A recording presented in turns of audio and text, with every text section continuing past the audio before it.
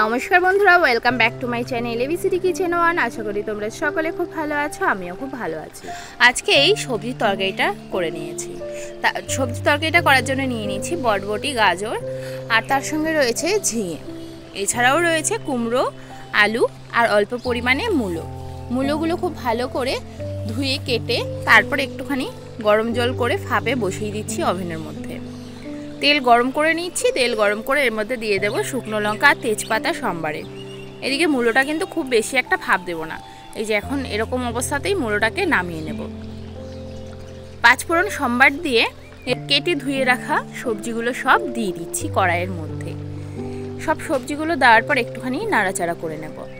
এবার ফাপ দিয়ে রেখেছিলাম যে মূলোগুলো, সেই মূলোগুলো জল ঝরিয়ে শুধু মূলোগুলো দিয়ে নেব তুলে জল থেকে ছেঁকে। মূলোগুলো দেওয়ার পরে আবার আগের মতোই নাড়াচাড়া করতে থাকব। নাড়াচাড়া করতে করতে একটুখানি কষিয়ে নেব। কষানোর আগে কিন্তু এর মধ্যে দিয়ে নিতে হবে নুন আর কালারের জন্য হলুদ। অবশ্যই কিন্তু নুন আর হলুদটা একটুখানি বুঝে দিয়ে নিতে হবে। রং বেরঙের শাকসবজি দেখতে কিন্তু খুব ভালো লাগে। রান্না করার সময় খুবই ভালো লাগে রান্না করতে। আর খাওয়াও কিন্তু খুব ভালো।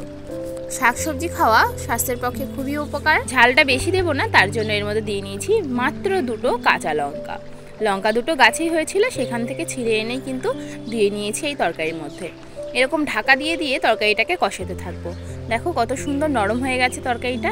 এবার এই তরকারির মধ্যে দিয়ে দেবো মশলার মধ্যে জিরের গুঁড়ো আর ধনের গুঁড়ো। জিরের গুঁড়ো আর ধনের গুঁড়ো দিয়ে নেব। সোমবারের মধ্যে কিন্তু দিইনি।